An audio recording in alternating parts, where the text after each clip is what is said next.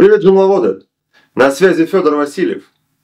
В этом видео я хочу вам показать условно бесплатный компонент, за счет которого вы сможете свой сайт Joomla, состоящий из, допустим, обычных статей, сделать каталог, не прибегая к каким-то серьезным крупным расширениям. За счет данного расширения, о котором пойдет речь в этом видео, вы сможете за счет произвольных полей Joomla, меток и других параметров сделать колонку слева или справа, в зависимости от вашего шаблона, и сможете вывести удобный э, фильтр поиска по вашему контенту. Но прежде чем мы с вами будем разбирать данное видео, я вам напоминаю, если у вас нет времени или вы сомневаетесь, вы всегда сможете обратиться ко мне, заказав сайт у меня, написав мне в бесплатный мессенджер или даже позвонить. Контакты вы сейчас видите а, на экранах через популярные мессенджеры. А я возвращаюсь к теме урока. Итак, давайте сначала взглянем на демо самих разработчиков. Если вы не планируете, не используете какие-то мощные компоненты, в которых уже включены возможность фильтрации вашего контента, и вы хотите сделать, э, то есть минимизировать э, нагрузку, то есть сделать э, небольшой легкий сайт, то есть через ком-контент Joomla – Э, выводить ваши материалы, как вот в данном случае в демо-версии, да, э, использовать там произвольные поля, использовать метки, категории, и при этом хотите хорошую вот фильтрацию сбоку э, выводить, то есть не обязательно сбоку, просто здесь она так вводится. Вводится за счет модуля. И, допустим, по категориям фильтрация, по жанрам, то есть кликая буквально на метку, у нас сразу фильтруется контент сбоку, да, и разного рода фильтрации можно вывести. То есть получается крутой уже такой портал а, с фильтрацией вашего контента. То вам это расширение подойдет, вот этот фильтр. Ссылку на скачивание бесплатной версии я оставлю на своем сайте fedorovasильев.com. Ссылка будет в описании под видео на мою статью. Что мы здесь видим? Мы здесь видим, что у нас на борту будет компонент модуль плагин, системные плагины, поддерживает Joomla 4, поддерживает Joomla 5. И здесь описание э, понятное, с чем это может быть использовано. Я уже протестировал данное расширение и могу сказать, что расширение имеет как платную, так и бесплатную версию. Естественно, в бесплатной версии у нас функционал урезан, но все равно его можно использовать. А, не настолько сильно урезан, что там, ну, допустим, невозможно его использовать. Достаточно интересно можно тоже использовать. И вам ничто не мешает э, потом купить, если вам это будет жизненно необходимо, иметь профишки, профункции все, купить это расширение. Вы нажимаете на кнопку «Скачать». Дальше вас перебрасывает на страницу. Здесь они просто так скачать его не дают, еще нужно зарегистрироваться. Поэтому я показываю процесс, чтобы у вас не возникло трудностей. Нажимаем вот здесь на их сайте вот на эту кнопку. Здесь вот сразу поля, которые мне вообще неохота заполнять, да. И если у вас есть аккаунт в Google или Facebook, у меня есть Google, я нажимаю Google. Я просто авторизуюсь под одним из своих аккаунтов.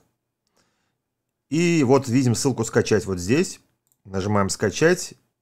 Вот бесплатная версия. А, дальше версия. Загрузить сейчас. И у меня идет загрузка. То есть вы видели, вот тут у меня загрузка полетела на компьютер. Также здесь, когда я нажал загрузить бесплатно, здесь э, есть еще бесплатный плагин интеграция с UTM, конструктором страницы. Если вы его используете, то его тоже можно скачать бесплатно. В рамках этого видео я не буду показывать этот плагин вместе с UTM, как это настроить и смотреть, я буду настраивать на обычном шаблоне Cassiopeia.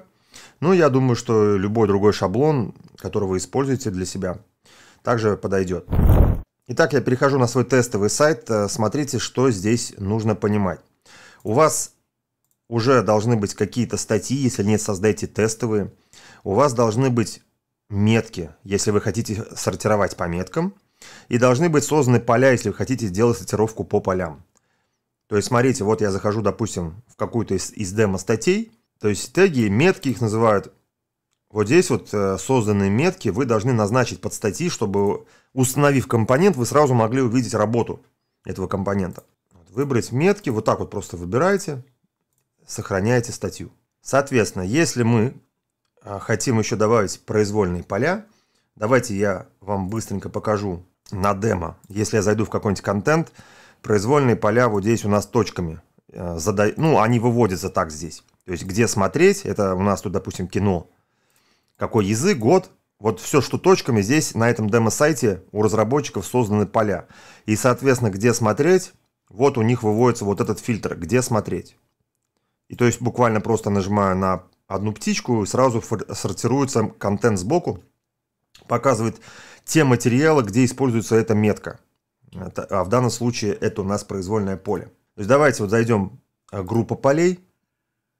У меня по умолчанию в демо-контенте тоже был автор. В бесплатной версии не все типы полей показываются. Я так полагаю, что в Pro-версии они будут показываться для фильтрации в данном компоненте. А, давайте использовать простое поле. Оно точно будет показываться, оно точно работает, потому что я уже это проверил. Язык. То есть, допустим, используется на сайте язык. Я создал сначала группу, потом я зайду в поле и создам поле. Язык. Здесь вот как раз про тип я говорил. Я использовал, пробовал ссылка, URL адрес, и он у меня не работал. То есть, возможно, какие-то типы не работают в бесплатной версии расширения. Поэтому оставляем текст. Что здесь еще важно? Фильтр. Здесь можно написать текст. А группа Здесь я выбираю язык, только что, которую я создал группу. Сохраняемся. Далее переходим в параметры. В самый низ индексация доступна для поиска. На всякий случай выставим. И сохранить. Это мы только создаем, чтобы увидеть работу нашего компонента, который мы будем сейчас смотреть. Далее, естественно, теперь в материалах, хотя бы в нескольких, надо добавить это поле. Вот здесь у нас появляется теперь язык. Пишем там, допустим, русский для другой статьи заходим в язык, пишем там, допустим, английский. Двух статей достаточно, чтобы увидеть работу нашего расширения. Ну, вот теперь, когда у нас готов сайт, контент, чтобы смотреть сразу же, как работает наш э, компонент, мы переходим к установке компонента. Система, расширение. Я перетаскиваю архив с расширением в эту область. Далее нам нужно создать страницу результатов поиска. Первым делом мы переходим в меню, Заходите в свое меню, в то меню, в которое вы хотите ну, создать пункт меню. Нажимаем «Создать», а, «Выбрать». У нас появляется здесь JFilter. Это как раз-таки от нашего компонента, который мы только что установили. Нажимаем на него. Здесь единственный а, пункт вот «Результат». Выбираем обязательно его здесь. Здесь можно писать результат поиска. Состояние опубликовано. И в меню можно это не выводить. Это же пункт меню, чтобы у нас не выводился. Переходим тип ссылки, показывать в меню. Мы переключаем ползунок. Он работать будет, когда будет работать поиск, но в меню выводиться оно не будет. А, давайте посмотрим, что у нас установилось. То есть, смотрите, компоненты раскрываем. Вот он, наш компонент. Дальше переходим в модули. У вас будет в отключенном состоянии. Вот он, JFilter. Если у вас его нет наверху, нажмите на ID, нажмите еще раз, и он отобразится в списке в самом верху. Дальше, в плагинах, у вас они будут включены, скорее всего, так как я уже удалял этот компонент, установил его заново. Вот видите, идут плагины JFilter, JFilter, вот тут в начале фильтр, фильтр. У меня они отключены, у вас они по умолчанию, скорее всего, будут включены. А у меня они выключены, потому что я удалял, устанавливал, тут пока тестировал. Здесь в этих плагинах нет настроек, я просто вам показываю, что установилось. Они нужны и они должны быть просто включены. Далее сразу тогда переходим уже к настройке модуля. Вот наш модуль, включаем его. Я кликаю по крестику. Заходим внутрь. Позиция зависит от вашего шаблона. У меня KCPU, то есть позиция, где будет выводиться модуль фильтрации. Я вывожу sidebar, sidebar right справа. Заголовок показывать или нет. Заголовок вот здесь вот. Можете написать там фильтр поиска. Здесь настройки, все, к сожалению, на английском языке. Я переименовал через браузер Chrome на русский. А, мы видим, что некоторые опции пометка Pro нам будут недоступны. Вы будете часто такое встречать в разных местах компонента. Мы на это влиять не можем. А смотрите, здесь можем оставить авто, дальше объединить фильтр с интеллектуальным поиском стоит да. Интеллектуальный поиск это имеется в виду, который встроенный в самой Joomla. И получается страница результатов поиска, надо бы нажать на кнопку создать, отсюда удобно ее создать, но мы с вами уже ее создали, поэтому мы можем просто нажать на этот список и увидеть заголовок той страницы, которую, которую мы только что настроили минуту назад. Обязательно ее выбираем здесь, нажимаем «Сохранить». Дальше важный момент – привязка к пунктам меню. На каких конкретных страницах в Joomla будете выводить фильтрацию. Ну, у меня демо-сайт, я вывожу на каждой странице. Все, дальше здесь ничего не надо делать. Сохранить и закрыть. Если мы сейчас пойдем на наш демо-сайт, обновим страницу, вот это у нас колонка, где будет у нас фильтрация. Но пока у нас ничего нет, потому что мы еще не все сделали. Дальше мы с вами переходим компоненты. В наш фильтр переходим. А, видим, во-первых, видите такие крестики напротив. Это значит, что они у нас не опубликованы, замочки у нас скрыты. А, замочки надо разблокировать и по каким моментам идет фильтрация. Смотрите, категории. Здесь у меня идут поля. Вот видите, поля, то, что мы с вами языки сделали. Метки, теги. И здесь идут э, по автору, и по дате фильтрация. И нам говорится вот здесь вот обязательно нажать на кнопку. Сейчас я переведу на русский. Надо проиндексировать. Вот сюда мы нажимаем.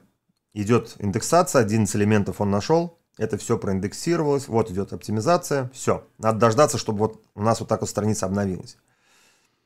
Если вы в процессе добавляете какие-то, допустим, новые э, поля, новые там, я не знаю, еще какие-то элементы, и хотите, чтобы они здесь появились, вам надо будет потом вот так вот зажимать галочку и нажимать, допустим, вот повторно сгенерировать. И вот еще можно нажать синхронизировать. Даже сейчас, если я нажму синхронизировать, они, я вам просто показываю то же самое действие, сейчас синхронизировались, но все отключились, не забывайте. То есть вы вот так ставите галочку, верхнюю снимаю, это как идет по умолчанию.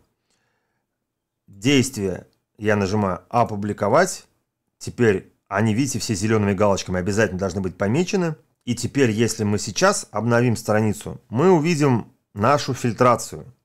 И, соответственно, вот эти по-английски названия тег, э, сортировка там по автору, не по автору, э, вы можете переименовать их здесь. Нажимаете вот на сам пункт. К этим настройкам мы сейчас еще вернемся. Вот категории, то есть поиск по категориям. Смотрите, если я сейчас сохранюсь, обновлюсь, то Отсюда категории исчезают после изменений. То есть, смотрите, название, давайте сначала все поменяем. Вот текст на английском. Метки. У меня категории появились, нажав, э, вот здесь вот э, будет такая иконка у вас. А, выключится категория, еще раз нажал, появилась галочка «Опубликовано». И теперь категории, вот они доступны. То есть уже сейчас, если я нажму, допустим, блок, у меня покажутся все категории, я вижу это по хлебным крошкам. Из категории блок показывается мой контент. Соответственно, также метки. Если я нажимаю на метки, то показываются статьи, где есть эти метки. То есть миллионы. Давайте зайдем внутрь. Вот я вижу метка миллионы. И, соответственно, эти статьи показываются. Теперь, допустим, отсортировать по языкам. Статья типографика у меня. Вот видите, вот выводится. То есть я подвязал это поле к этой статье. И, соответственно, вот у меня на русском выводится. Соответственно, видите, категории прячутся. Английского здесь нет в развернутой статье. Вот. Это хорошо, потому что если нажмем назад, возвращаются другие элементы для, фильтра для фильтрации, которые относятся к тем статьям. Вот, язык английский. И теперь давайте посмотрим настройки а, самих элементов. Допустим, заходим в язык, переведем здесь на русский. Вот это отображать как раз, видите, у нас вот все идет как, как ссылки, видите, с ссылками, фильтр с ссылками. И здесь, к сожалению, есть только флажки, а остальные интересные варианты доступны только в Pro-версии. Давайте сразу рассмотрим флажки. Следующая опция, видите, корневой фильтр может считаться началом процесса фильтрации. На него не влияет выбор других фильтраций. Вот это интересная штука, смотрите, о чем идет речь. Допустим, я выбираю миллионы, метку, и видите, появляется слово Claire. Ну, то есть это тоже надо еще перевести на русский через языковую константу Joomla, чтобы на русском это было. Но если я нажимаю на эту ссылку, фильтр очищается, сбрасывается, то есть до нуля. И я могу выбрать, допустим, миллионы, дальше. Создано каким автором, по какой дате. И это все фильтруется, и они участвуют в фильтре. Все фильтры. И получается, если я флажок на языках поставлю, сохраню настройки, что это даст? Во-первых, у нас появились чекбоксы. Вот я равняю. И давайте я сброшу фильтр. Допустим, я выбирал метки, я выбрал автора, но если я выберу язык, то предыдущие фильтры сбросит. Вот эти два выбора сбросит, покажет только вот этот фильтр, языковый. Как раз вот эта опция за это отвечает. Следующее, Basic настройки. Ну, про версии, которые закрыты, мы с вами не рассматриваем. Сортировать параметры. Здесь можно оставить по умолчанию. Или выбрать так, как вам нужно. Показать, очистить эту ссылку Claire, чтобы ее не было. Можно ее скрыть. И здесь еще один есть параметр, очень важный. Путь и запрос. Показать выбор элемента в заголовке страницы. Переход по ссылке поисковых систем. А, вот здесь вот стоит «нет». Это значит, что мы закрываем от поисковых систем вот этот переход. Здесь а, под вопросом, не знаю, как это повлияет вообще на сайт, да, нет. Но я еще кое-что забыл вам сказать. Давайте сохранимся. Вот страницу результата поиска нам не нужно, чтобы она индексировалась. Переходим страницы, меню, мань меню, заходим в нашу страницу, заходим в метаданные, вот здесь вот, выбираем no index, no follow, поисковым системам говорим, чтобы конкретную страницу не индексировала, потому что ее индексировать нам не нужно. И теперь смотрите, вот этот важный тоже момент, это у нас а, ссылки красивые, что касаемо SEO, да. Если мы сейчас с вами посмотрим, то есть это языки. Вот у нас выбрал английский. Посмотрите, какая сейчас ссылка красивая. Ничего лишнего здесь нет. Но английский неправильно, конечно, надо здесь альяс у поля обязательно латиницей писать. Но вот если мы здесь выберем запрос и сохранимся, пойдем на сайт, обновимся, то есть сбросим фильтр перейдем куда-нибудь, выберем английский. Видите, какая ссылка стала? Подставляются разные знаки, вот такие вот. Ну, то есть, зачем такая ссылка некрасивая? Поэтому мы всегда оставляем здесь вот этот вариант. Это у нас разряд SEO. Ну и здесь э, переход по ссылке ставим по умолчанию, потому что ходить поисковикам прямо вот по меткам фильтрации поиска здесь, я считаю, незачем.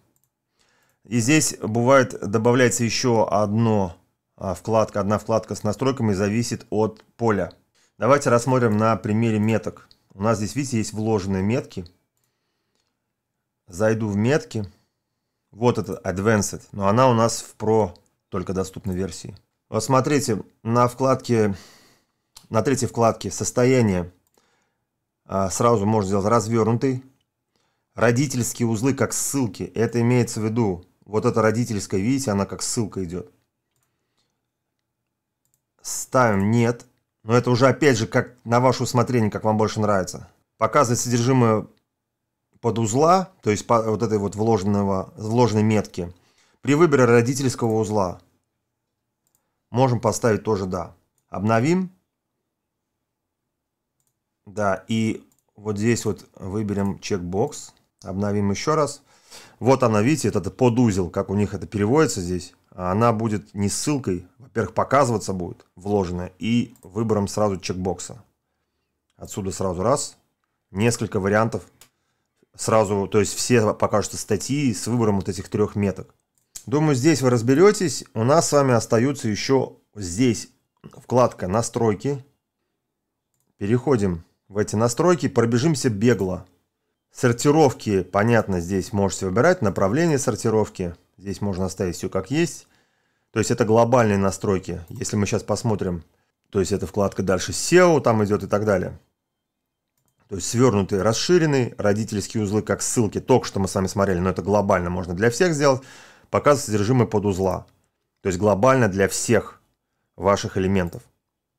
Это у нас по SEO настройки а, то есть глобальный элемент тоже. Здесь есть важная опция по SEO по поводу канонических URL. Этот компонент заточен под SEO, поэтому вот здесь очень мне это нравится.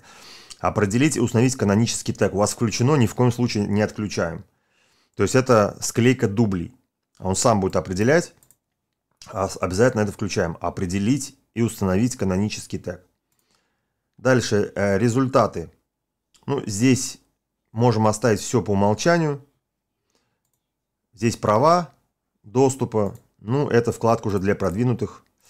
Здесь нам об этом предупреждают, мы ее не трогаем. Вот они все настройки, по сути. Да, конечно, хочется эти профи вещи, чтобы они были в бесплатной версии.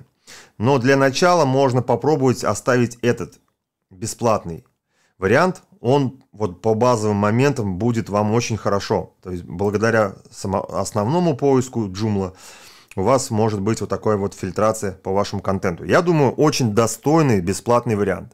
Всегда можете потом расшириться до Pro версии, если вас она заинтересует. На этом я с вами не прощаюсь.